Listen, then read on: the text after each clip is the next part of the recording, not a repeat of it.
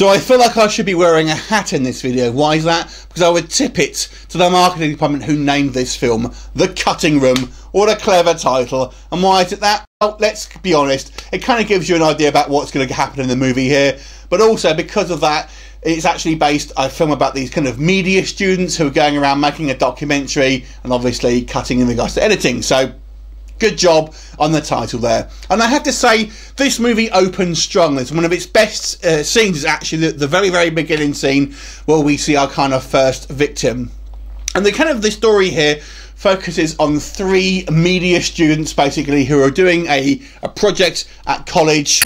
Uh, and they're basically trying to do this documentary about cyberbullying, but this leads them down a darker path where they are investigating or end up investigating disappearances of local girls. And of course, we know basically that there's this killer who's doing some kind of bodily mutation to these girls for whatever reasons. And obviously, as the movie progresses, they get further and further towards the truth and inevitably come across the killer, as you'd probably expect. So, uh, let's go on to the, the little bit more detail about this movie. So this is a British movie, and it's a very low budget film. And um, you know, with, with low budget films, you kind of have to, I feel, sometimes give a little bit of leeway in regards to what they can and can't do it, because of their budgetary restrictions. And a lot of these movies that are low budget end up being sort of found footage films because it kind of gives you that kind of that low tech, uh, look to it, and a, and a genuine reason for that. So I gotta be honest with you. I think the the way this film is, the, certainly the cover and the title, it, you'll be forgiven for thinking it's going to be like a torture porn film along the lines of Hostel and Saw and things like that. And it really isn't, to be honest with you. It's a straight found footage film with a kind of a, a, a, a murderer, mass murderer.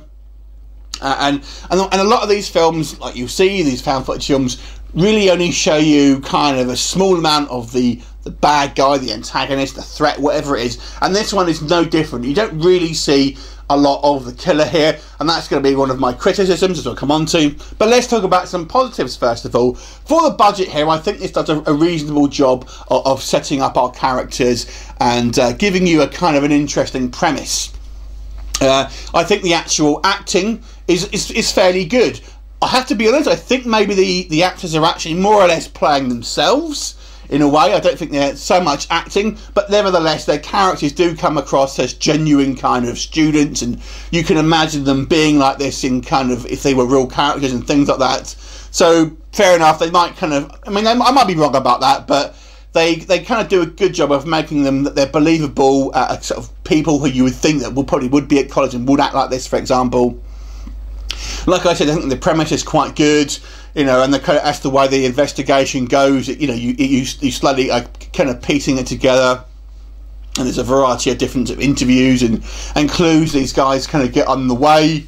Uh, the actual killer himself, uh, we're going to kind of go into this is going to be both a positive and negative. I think that the actual killer himself potentially is is quite interesting and, and you kind of this movie will make you want to know more about his motivations and why he's kind of doing certain things. But unfortunately it might pique your interest but it doesn't pay off because we don't really see a lot of him. Um, you'll kind of see the odd well, literally maybe one one flat to flash in the kind of the movie and then the rest of it is just kind of pretty much the whole, you know, the, the last kind of 10 minutes of it, basically. And even then, we don't get a particularly good look. It, to me, this film opens really strongly at that beginning scene where we see, and the, uh, you know, it's the first scene, so I'm going to talk about it. We basically see the killer maybe sort of strapping down his kind of first victim and he's doing something with her and he's kind of playing this kind of creepy old music. Great. It kind of really sets up, I think, wow, this is going to be a pretty decent horror film. Uh, but it never really i don't think it ever gets back to that kind of that level of creepiness. Um, the vast majority of this film i mean the, the, the absolute vast majority of this film is literally these three sort of teenagers just walking around trying to investigate stuff talking to people having conversations and mainly arguing there's lots and lots of arguing in this film and the the, the main guy, the main kind of male character, seems to want to bone literally every single uh, female he ever comes across. In fact, the majority of male characters here probably come across as some kind of uh, sexual deviant in some way. Even the kind of the teacher is kind of alluded to that he might be a little bit of a, you know, with one of his students. But um, and obviously you have the killer who's clearly got something wrong with him as well. So you know, the male characters aren't particularly well well portrayed in regards to positive, uh, uh, you know, characters here. So that I mean, the other thing I guess I would say with this film, it's not a lot happens. There's not a massive amount of plot here, but there are certain decisions that these characters make that just seem ridiculous. And this is a, a scripting issue, to be quite honest. Like the basically the lack of inaction in regards to calling the police, uh, certain things that you would probably do or do not do in real life. And then there's a scene, I guess, just to move the story on. Obviously, this is called Cutting Rooms. There obviously is going to be a place somewhere, and yes, this place exists. And they decide, oh yeah, yeah, we're totally going to go in there in the middle of the night, and um, you know we can hear screaming and stuff. And We'll just go in there without kind of telling anyone where we are or whatever. You know, it's kind of one of these things where you think, oh man, you wouldn't do that. You simply just wouldn't do that. Uh, you know, if you were that, you would come back in the day um, or you would call the police the first sign that there was something wrong here. So, uh, you know, there, there are some kind of silly decisions and kind of just things that aren't just don't fit really, just to kind of make this kind of this sort of false drama, if you like. And the uh, when we actually do have the kind of the last portion of the film, which is pretty much where we'll have our kind of face off with the killer. There is it being a found footage film, you know, you can't see a lot. It's very dark and there's a lot of kind of just shaking the camera around, so you just kind of lose where you are.